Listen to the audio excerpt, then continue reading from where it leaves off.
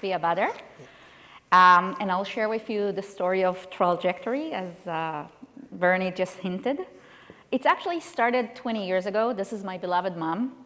Um, I lost her to non-Hodgkin's lymphoma 20 years ago. Um, when she received her diagnosis, we were told by our oncologist, not a best of news, but don't worry. It's going to be a tough year, but she'll get over it. That was not really the case. She did not respond well to the standard of care. And after line one failed and line two failed, our oncologist took me to a, a meeting and basically said, we need to look at the alternative. And I was just like, okay, what does that mean? He said, at this point, what we have left is let's look at clinical trials. And I said, that sounds good. Where do I find those? And she said, that's the tricky part. I'll ask my colleagues, but maybe you, you go to this internet thing. Remember, 20 years ago it just started. Remember the days that we got connected with a wire and it was like buzzing? So that's, and you're kind of geek, so maybe you can find something. And I spent days and nights trying to find something for my mom. By the time I was able to find anything that I thought was could help her, it was too late and we lost her. That's me, 14 years later. I got my own diagnostic with cancer.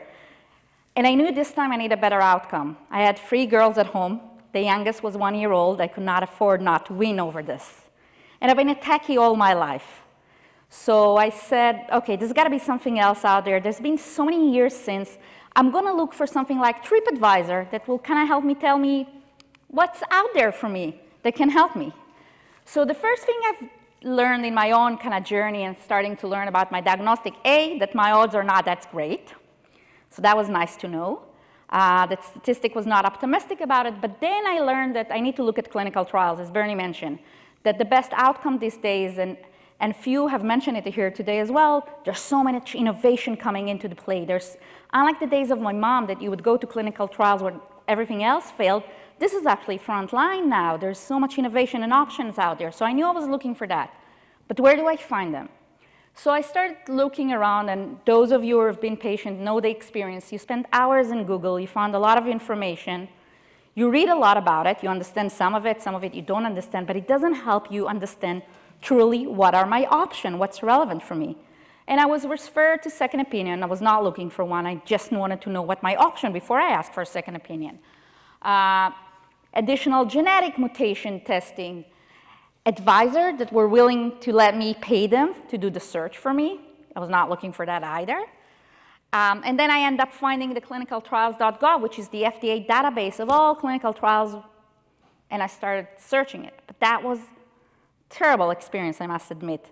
There were so many options there, and the medical terms were so complex, and there was so much what they call eligibility criteria, and I didn't know, so what does it mean? Is that right for me or wrong for me? So I was still confused. And I started my journey in my own, we live in New Jersey. Uh, so I went to one oncologist clinic and I spent three hours in the waiting room, something a lot of us are familiar with. Waited to meet this oncologist that hopefully will be able to tell me what are my options because I failed doing it by myself. Um, I walked in, he spent total of five minutes with me, told me again my odds were not great, thanks, I know it. Tell me we need to find out if it metastasized to the brain, okay, we can do that, it's a good start, but then what's next? I'm a very practical kind of female lady, as you notice. I need to know my options. And then he said, well, maybe there is one trial that you could be right for. Not sure yet. We'll see. And I was just like, whoo, hold on. What do you mean one? So out of everything out there, there's only one option for me right now? My, what is it exactly? Can you share detail? And he was just like, no, no, we'll talk about it after you come back. So obviously I left and never came back. And as Bernie hinted, I went to Memorial Sloan Kettering, right? I live by New York. It's considered to be the best place. I'll go there. I went there. I spent less time in the waiting room, but still quite a lengthy time. Went in and saw this amazing oncologist who suddenly said, well, I have three clinical trials you might be right for. I said, well, great, I tripled my odds. So what are those? And after he explained those, I, I asked a very simple question. Okay, so those three options that you just proposed to me, those are the best out of everything out there? Am I supposed to go now and shop MD Anderson, Dana-Farber? I don't have time for shopping. TikTok, I've got cancer. Time is clicking. And even if I had time, how do I choose? And he was brutally honest and basically said, listen, unfortunately, those are not the best out of everything outdoors. Those are the best in memorial, but even more than that, those are the best, are those in memorial that I'm involved with. So I'm getting a subset of a subset of a subset. As a patient, it's a concern, right? When you want to travel, I, just, I don't just go to the United app. I search kayak. I search TripAdvisor. I want to know all the options. I want to know all the time. I want to know all the costs. Why, as a patient, when it comes to the journey, for my life, I don't have that option. So make the short story, make the long story short. I did end up with three different trials. The first one did not work. Second one semi-worked. The third one worked like a charm, and I've been NED disease-free for two and a half years now. Um, I decided that that was good for me. Now we need to solve this. And there is a reason. Everyone needs to find meaning out of this cancer journey, right? So we find meaning in God, we find meaning in changing our life habit, balance. I'm not the kind to find, you know, to start do yoga and meditation. I'm the kind to take my knowledge in technology and see how we can solve this big problem for others. And that's why we started TrialJectory. Out of truly believing that advanced treatment should not be privilege. Advanced treatment should be available to everyone. And knowing that right now the hurdles or the barrier to find your different treatment option are not due to the lack of willingness of physician or agendas. There might be some of those, but I think truly the problem is the volume and the complexity. I don't think the physician I met did not want to present me with more options. He didn't know them. There's 100,000 running oncology trials right now. It's a huge volume of clinical trials. There's over 5,000 approved FDA drugs out there. It's a huge volume. We cannot expect anyone to be familiar with all of them. It's insane. And when you look and when you deep dive into really understanding how we can match between the right treatment to the right patient, you realize there's so many attributes, parameters that come into play. You need to look at the disease, right? What kind of disease? What's the subtype? Where is it located currently? Where did it start at its size? We need to know its genetic profiling, its biomarkers. We need to know the patient treatment history and any side effects, overall health condition that might impact. So when you think about it, there's so much to take into account. The more we know about cancer, then we can be more precise in treating it. And they're looking, you know, Ilan mentioned the subtype and the subtype. That's the whole point. We learn more about cancer. So there is definitely more, then it means there is more options. So matching cannot be just the profession of the physician. He needs help. And the way to solve it, and the way we solve it in TrialJectory, is exactly around that. We develop what is called AI, artificial intelligent machine. So, kid you not, it's not intelligent. So everyone who's afraid that, you know, computers or robots will take over the world or any kind of profession, that's not the case. What the artificial intelligence, the machine can do better than humans is run through a lot of data points. So that's what we can do. So if we have 100,000 running clinical trials, with each one of them has around 40 different eligibility criteria per patient, we can have a machine that browse through all of them, learn them, and understand them. How does it learn them? We explain it to them. So now we know what they're looking for, and we need to match it with a patient profile. And a machine can help do that, because that's a simple it's not a simple, it's a complex, but it's a search.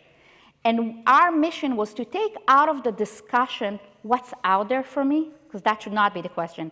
We need as patient and as a an oncologist to spend the time thinking what's best for me as a patient. And if we want to focus on what's best for me, we need to take out what's out there for me from the table.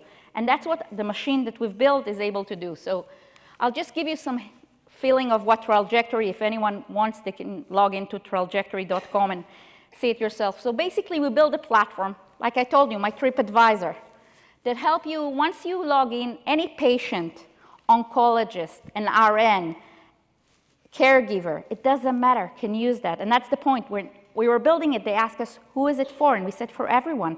They said, but if you're building for something for a physician, it needs to be different than a patient. And we said, no, that's the whole point. We democratize we're all a team fighting cancer. We democratize access to information in order to have a conductive conversation around it. So they need, we can choose what type of indication we have. And then basically we go, a patient or whomever fills it, go through a very smart questionnaire. The purpose of the questionnaire is to collect the information that I've mentioned before. What type of diagnostic, what type of history of treatment, side effects, in order to compare it to what the different treatments are looking for. And we build that in a smart way. that the system generate those questions, but based on your input. So you don't feel like a static reports of 100 questions. You answer 25 questions. And as you give those input, the system already compare it to what the treatments are looking for. So at the end of this process, you can actually end up by being matched to the relevant trials. So in five minutes, we took out the question, what's out there to me, for me, and we bring it back to, this is what there, now share with your physician if you did it as a patient, now share with your patient if you did it as a physician. Now discuss what's best for me. Do I want to start aggressive? Do I want to start less aggressive?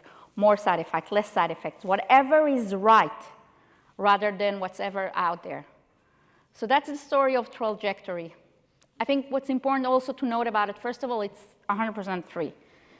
I don't know how many of you know, but the industry of oncology drugs is a $200 billion industry. It's enormous. It's unbelievable. That on one hand, on the other hand, cancer diagnostic is one of the number one uh, reason for personal bankruptcy. So patients that have to stop work, not necessarily have the best coverage, having hard time financially to, to deal with it. So I think I told you one of the things I kept being referred to people that will advise me for additional money and help me find alternative option for me. So one of the core value for us, it's 100% free for patient. It's HIPAA compliance. There's no obligation. We're focusing on oncology. Uh, and we have a service that helps patient if they've gone through it and let's say they thought this makes sense, their oncologist thought they make sense, then help them connect with the trial. So we connect them, we help answer any question. We help them understand where there is different option for additional financial help if there's travel involved and others. So really helping the patient mitigate any concern that they have so they will have access to the best treatment that is out there. We've been live uh, a year, more or less. We teach the machine, and I refer to her as female because she's very smart, indication by indication. Uh, so we started with melanoma, we moved to CRC, breast cancer, MDS, we're now doing uh, bladder and AML, but we already have almost 3,000 patients that fill their profile and use our system. We have uh, over 670 people that are now in the process of applying and finding clinical trials for themselves. We have, uh, like you see, now it's actually higher from this weekend. I think it's almost 60 patients that actually joined trials that gave them hope and option when they not necessarily had this. So I'm, I'm very proud of what we were able to do in building it.